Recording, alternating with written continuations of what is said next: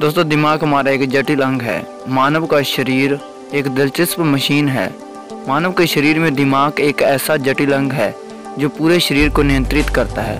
आज हम आपको दिमाग के बारे में ऐसे ही कुछ फैक्ट बताने जा रहे हैं। तो चलो शुरू करते हैं।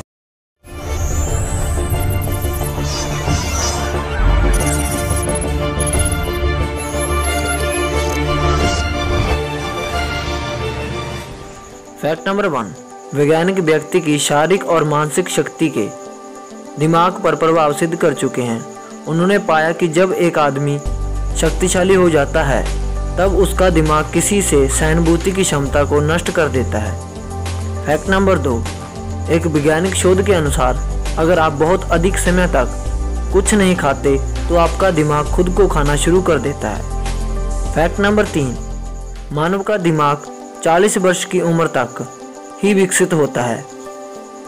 फैक्ट नंबर चार, यदि दिमाग को पाँच से दस मिनट तक ऑक्सीजन नहीं मिले तो यह हमेशा के लिए काम करना बंद कर सकता है। फैक्ट नंबर पाँच, औसतन आदमी का दिमाग इतनी बिजली पैदा कर सकता है कि इस बिजली से एक बल्ब जगाया जा सके।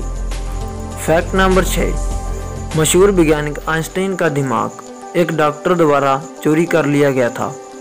जिसने उनके शरीर के साथ प्रशिक्षण किए, उस डॉक्टर ने आइंस्टीन का दिमाग 20 वर्ष तक एक जार में संभाल के रखा था।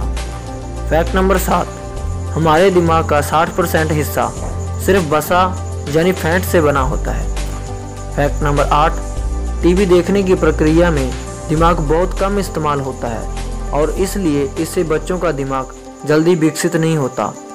बच्चों का दिमाग कहानी पढ़ने से और सुनने से ज़्यादा विकसित होता है, क्योंकि किताबों को पढ़ने से बच्चे ज़्यादा कल्पना करते हैं। फैक्ट नंबर नौ, एक अध्ययन में पाया गया है कि अगर आप अपने स्मार्टफ़ोन पर लंबे समय तक काम करते हैं, तब आपके दिमाग में ट्यूमर होने का खतरा बढ़ जाता है।